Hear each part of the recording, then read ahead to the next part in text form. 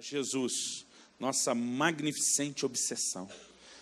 E sabe, algo que Davi está falando nesse texto, querido, que revela o seu fascínio por Deus.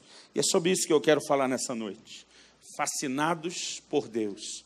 Davi diz aqui no Salmo 27, no versículo 4, ele diz: Uma coisa eu peço ao Senhor e eu vou buscá-lo.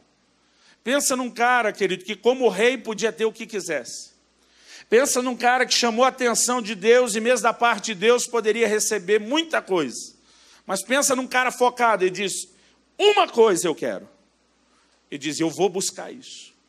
E diz: Eu quero habitar no santuário, no templo do Senhor. E diz: Eu quero contemplar a sua formosura, a sua beleza. Davi, querido, queria não apenas aquele lugar onde a presença de Deus se manifesta, mas ele diz: Eu quero viver neste lugar porque eu quero te admirar, Deus. Davi estava dizendo: Eu sou tão apaixonado por você, eu quero tanto descobrir quem você é. Existe, querido, no coração dele algo que nós precisamos parar para pensar nisso.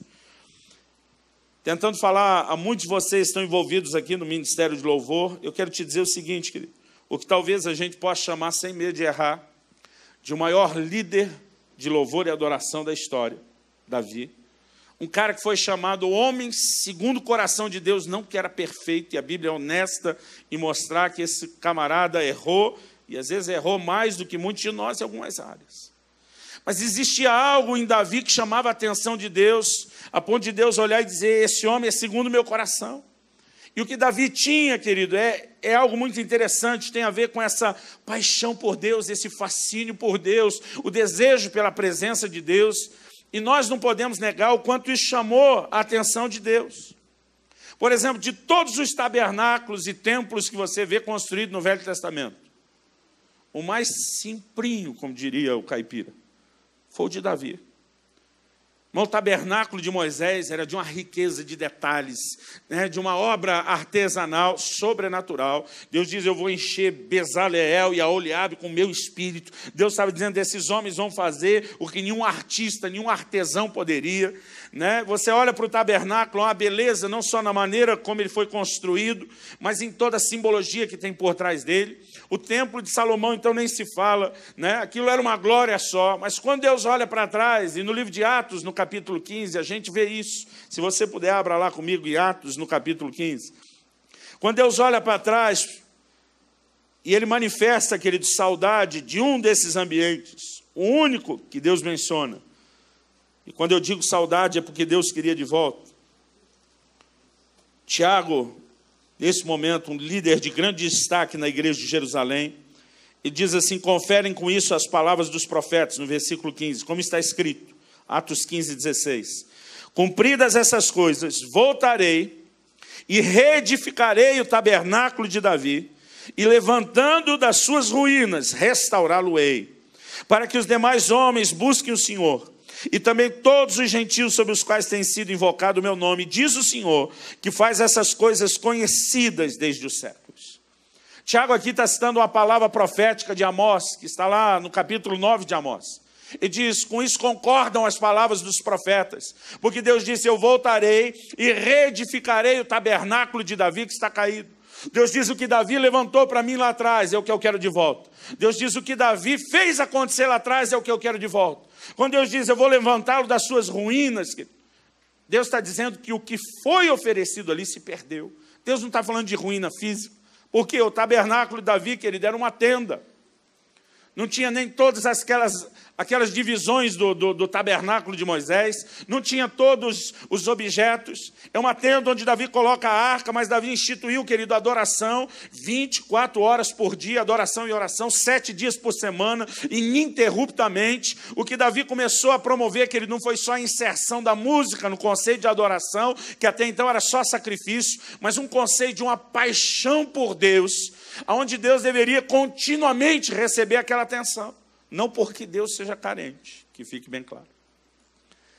Davi começa a entender algo a respeito da beleza de Deus, de quem é Deus. E ele diz: Nós temos que derramar isso diante de Deus.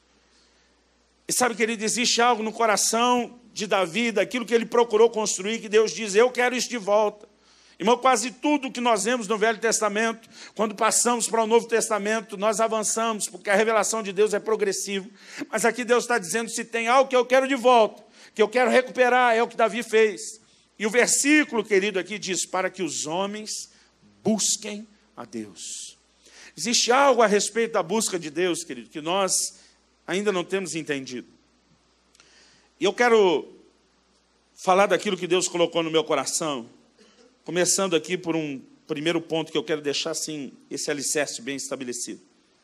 O que Deus está procurando nos homens? Talvez a gente possa dizer isso de outra forma: o que Deus espera de nós? Atrás do que Deus está. E alguns versículos, querido, que inevitavelmente eles são chaves para que a gente forme esse conceito. Um deles é quando Jesus, em Marcos 12, 30, depois de ter sido questionado sobre alguém, sobre qual era o maior, o mais importante, o principal mandamento, Jesus repete o seguinte: Amarás ao Senhor teu Deus de todo o teu coração, com toda a tua alma, com toda a tua força, com todo o teu entendimento. E aqui Deus mostra que Ele espera não apenas que o homem o ame, mas que o homem o ame com tudo que ele pode oferecer e acima de tudo. De todo o coração, com toda a alma, com todo o entendimento, com toda a força. Então Deus está dizendo: Eu não apenas quero o seu amor, mas Ele me parece pedir o que nós poderíamos chamar aqui de amor total. De uma completa devoção a Ele, colocando Ele acima de tudo. Depois nós podemos, querido, considerar juntamente com isso o fato de que em João, no capítulo 4, Jesus diz: O Pai procura adoradores. E quando Jesus fala do Pai procurando adoradores, interessante que ele não diz que o Pai procura adoração. Ele diz: O Pai procura adoradores. Então, o que Jesus está revelando, querido, vai além da adoração. Está falando que Deus está atrás de pessoas que entrem nesse ambiente de adoração, que se tornem esses adoradores, por causa de um motivo. E a grande procura de Deus, que não é a adoração, são os adoradores. Porque na adoração é onde nós vamos viver com Deus, um lugar de intimidade, de comunhão, que Deus desde o início estabeleceu para o ser humano.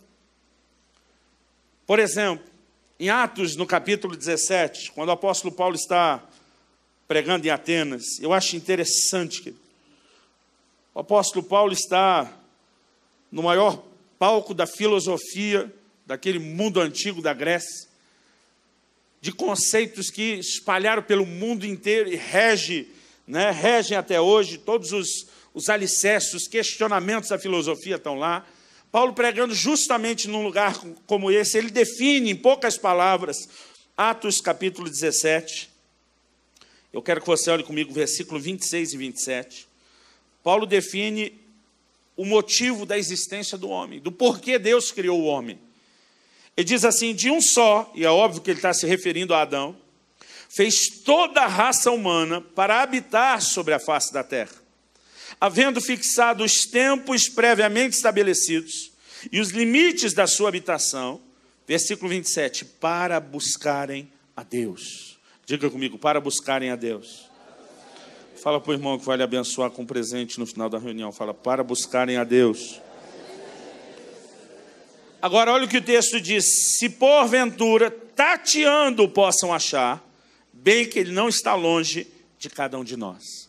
A Bíblia diz: Deus não está longe, Deus não está fugindo, Deus não está se, se, escondendo, Deus quer ser achado, mas Ele espera que o homem o procure, ainda que na limitação de uma cegueira espiritual, que ele vá se enxergar, tateando, apalpando, o que Deus espera, querida, é que o homem o busque. O homem foi criado para buscar a Deus, você pode dizer amém? amém. Agora, Jeremias acrescenta algo mais. Lá em Jeremias 29, 14, Deus usando profetas assim: Buscar-me-eis e me achareis, porque o propósito da busca é encontrar. Jesus diz: todo que busca, encontra. O propósito da busca é o que nós vamos encontrar, você pode dizer amém? Mas Jeremias diz: buscar-me-eis e me achareis quando me buscardes de todo o vosso coração. E algo que nós precisamos perceber, querido, em Deus e naquilo que Deus quer, é que, de alguma forma, o homem não só foi criado para buscar a Deus, mas essa busca, ela está relacionada a um padrão que Deus estabeleceu que envolve intensidade. Deus disse: "Vocês vão me achar quando me buscar de todo o coração". E eu creio que a grande doença da igreja hoje, querido, ela está relacionada com a maneira como nós buscamos a Deus sem pôr nessa busca todo o nosso coração. É por isso que tem tanto crente vazio. É por isso que tem tanto crente vivendo uma vida medíocre. Ele aprendeu o comportamento de voltar da igreja, de erguer a mão, de cantar, de procurar realizar o que foi ensinado sobre o formato, sobre a expressão externa da coisa. Alguns são muito dedicados, inclusive. No entanto, que ele tem nos faltado um desejo por Deus.